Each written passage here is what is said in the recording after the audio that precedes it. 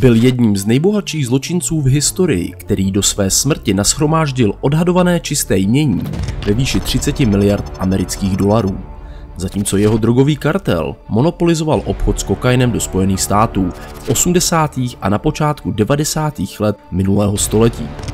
V naší nové sérii se vydáme na vzrušující cestu do Jižní Ameriky, do státu Kolumbie, kde se ponoříme do hloubky kolumbijského drogového kartelu Medellín a jeho nejvýznamnější postavy, legendárního Pabla Escobara.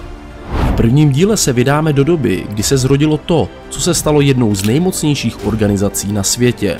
Proskoumáme počátky kartelu Medellín a budeme sledovat vzestup mladého a ambiciózního Pabla Escobara. Jeho štouha pomoci a bohatství ho zavedla na vrchol kolumbijského podsvětí. Připojte se k nám, abychom společně objevili neuvěřitelnou sílu kartelu Medellín a zároveň pronikli do mysli muže, který se stal symbolem drogového obchodu a jedním z nejkontroverznějších a nejmocnějších zločinců v dějinách naší planety. Jste připraveni odkrýt skutečný život nechvalně známé legendy a nasát atmosféru éry, která navždy změnila tvář kolumbijského podsvětí? Pokud ano, tak se pohodlně usaďte a vítejte u nové videosérie na kanále Top Témata a připravte se na vzrušující a návykovou cestu do srdce kartelu Medellín a života Pabla Escobara. Vstupte s námi do stínu a zažijte příběh, který jen tak nezapomenete. Pablo Emilio Escobar Gaviria se narodil 1. prosince 1949 ve městě Rio Negro. Byl třetím ze sedmi dětí a v dětství, které prožil ve městě Medellín, nepoznal nic jiného než chudobu a strádání. Jeho otec byl chudý zemědělec a matka učitelka. I když se snažil studovat a dotáhnout to na právníka, politika a nakonec i na prezidenta, těžký život v ulicích Medellínu nakonec vše nalinkoval úplně jinak a svého snu se i kvůli nedostatku peněz musel nakonec vzdát. Jediná možnost seberealizace v chudé a násilí plné Kolumbii byl zločin, což mladý Pablo rychle pochopil a dal dohromady skupinu vrstevníků, kteří nešli, stejně jako on sám, pro ránu daleko. Escobar začal svou zločineckou kariéru se svým gengem tím, že kradl náhrobní kameny, pískoval jejich nápisy a prodával je. Postupně začal spolupracovat s gengy, které kradly auta, Tomu vyneslo první peníze, které ale neutrácel jako ostatní pouliční zločinci, ale rozhodl se je investovat do dalšího rozvoje svého nelegálního biznisu. V polovině 60. let začal půjčovat peníze na vysoký úrok. To byla sázka na jistotu, protože moc dobře věděl, že velká část žadatelů o půjčku mu nebude schopna peníze vrátit. Dlužníka, který peníze nesplácel, následně nechal unést a od rodiny požadoval tučné výkupné, které násobně převyšovalo půjčenou jistinu i úroky. Většina rodin ochotně zaplatila a tak se z této kriminální činnosti stal doslova zlatý důl. Mladý Escobar se tak rozhodl systém únosů rozšířit i na naprosto nevinné oběti, jen za účelem získání výkupného. Na počátku 70. let tak unesl mnoho lidí, za které dostal tučně zaplaceno jeho nejznámější obětí únosu byl podnikatel Diego Echavarria, který byl unesen v létě 1971. Escobar obdržel od rodiny Echavarria výkupné ve výši 50 tisíc dolarů, čímž se jeho gang proslavil a získal v kolumbijském podsvětí širší renomé. Escobar byl zapojen do aktivit organizovaného zločinu přibližně 10 let, když se v polovině 70. let začal v Kolumbii šířit obchod s kokainem. Do té doby, zejména v 60. letech 20. století, nebyla Kolumbie ještě vnímána jako hlavní koridor pro světový obchod s kokainem a země byla spíše spojována s obchodem s marihuanou. Koncem 60. let 20. století byl kolumbijský obchod s marihuanou výsledkem vzkvétající produkce v Sierra Nevada v Santa Marta, kde byla poté pašována v tajných zásilkách banánů směřujících dále na sever do USA. Pokud jde o mezinárodní obchod s kokainem v 60. letech, tak Argentina, Brazílie a Chile byly zeměmi, které měly největší podíl na mezinárodním převozu kokainu. Rio de Janeiro v Brazílii, Buenos Aires v Argentině, a Valparaiso v Chile sloužily jako výchozí body pro námořní obchodní trasy v 60. letech 20. století. Užívání kokainu v té době zůstávalo do značné míry pod rozlišovací schopností úřadů ve Spojených státech.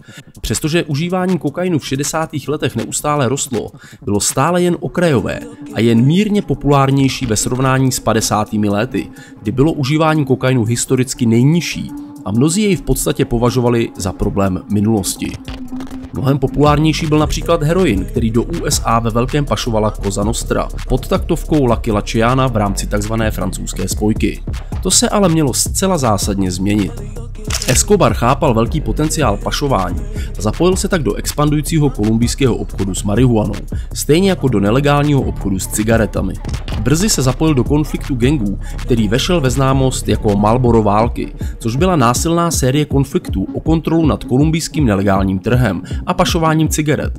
V této době začal svoji rostoucí organizaci plně přesměrovávat z pouliční kriminality a únosů na plnou účast na černém trhu, v kterém viděl obrovský potenciál. Jeho organizace se začala postupně projevovat mnohem organizovanějším a násilnějším způsobem. V roce 1973 došlo v Chile k vojenskému převratu, který vedl k tvrdému zásahu proti čilským pašerákům drog. To způsobilo, že někteří obchodníci s drogami uprchli ze země a okamžitě začali využívat jiné obchodní trasy. To často vedlo k tomu, že se čilští pašeráci zaměřili mnohem více na Kolumbii, kterou začali využívat jako obchodní cestu dále na sever. Polovině 70. let 20.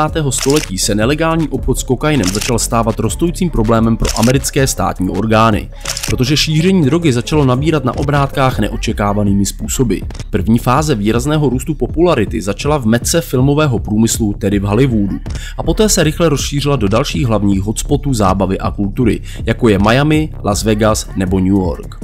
Kolumbijští zločinci, kteří byli zkušenými pašeráky různého zboží prostřednictvím černého trhu, začali považovat kokain za neodolatelně lukrativní komoditu pro pašování. Produkt se lépe balí a maskuje oproti jiným typům drog a tudíž zaručuje menší komplikace během dlouhé cesty přes hranice a na různé regionální trhy po celém světě. To maximalizovalo ziskový potenciál drogy, protože její objem a hmotnost v poměru ke konečné peněžní hodnotě byly exponenciálně vyšší ve srovnání s obchodováním s méně hodnotným produktem, jako je například marihuana. Výrobní náklady kokainu byly okolo 1500 dolarů za kilogram, zatímco na trhu USA měl ten samý kilogram hodnotu až 50 tisíc dolarů. Mnoho z nejzavedenějších a nejpodnikavějších kolumbijských pašeráckých skupin se rychle zapojilo do tohoto lukrativního obchodu, ale velmi rychle mezi nimi začal vyčnívat v tu dobu již velmi bohatý boss Pablo Escobar. Escobar se stal charakteristickým pro svou strategii poskytování ochrany dalším pašerákům, kteří s ním spolupracovali a pomáhali dále distribuovat kokain do měst jako je New York City, Miami a Los Angeles.